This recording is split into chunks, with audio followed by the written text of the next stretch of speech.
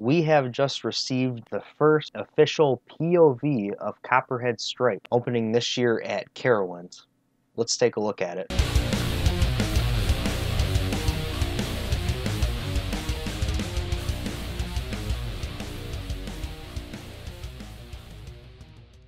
On Copperhead Strike's animation, upon its announcement, the ride looked like it had potential to have some really good hang time and airtime moments, and it's overall not a very intense looking ride, but very exciting, pretty well paced for the most part. But sometimes with the animations, you know, it's not quite what it is when it actually is operating, whether that's for better or for worse. So let's take a look at this POV we got from Carowinds. We start off by rolling out of the station.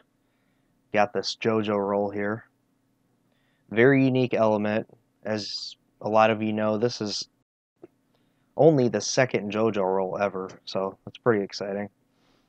We hit the barn here, which is going to have quite a bit of theming, it looks like. Probably going to be sitting here for a while on the ride, and there's different things going on. Then we hit the first launch. We go into this really circular loop. Looks like it has some pretty good hang time, actually. This awesome ejector airtime moment. Over this this corkscrew here. Go through a couple twists. Pretty low to the ground there. Another airtime moment. Then we hit the airtime launch here. Looks very exciting.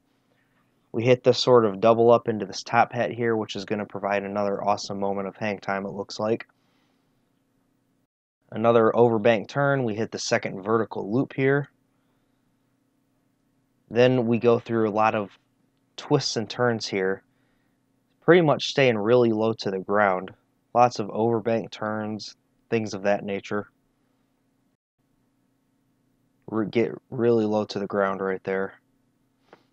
Basically just going through twists and turns at the end here. Another small airtime moment to end things off and then hit the brake run. This POV looks great, I think. And I mean, this is just a test run, so it's barely warmed up yet. I think a lot of people were kind of skeptical when this ride was announced because, you know, it's not like super intense or it doesn't have the most airtime or the most inversions, you know, it's not the longest ride. But I think this is going to be great for Carowinds. And overall, I think a lot of people are sort of coming around more on this ride, including myself a lot of us thought when it was first announced, like, oh, you know, it looks like a pretty fun ride, even a great ride. But seeing the actual testing footage now, it just looks great. Just looks like it's going to be a really fun ride. Nothing too intense, you know, it's going to have more of that family appeal that Carowinds, I think, is definitely going for. So it's going to be good in that regard, but it's also going to be super thrilling for coaster enthusiasts as well. It's going to have some great airtime moments, some really good hang time. It looks like those loops might be fairly forceful as well. So I think this is going to be a great ride. I'm supposed to be getting on this actually in early June when I visit Carowinds and Kings Dominion on my trip.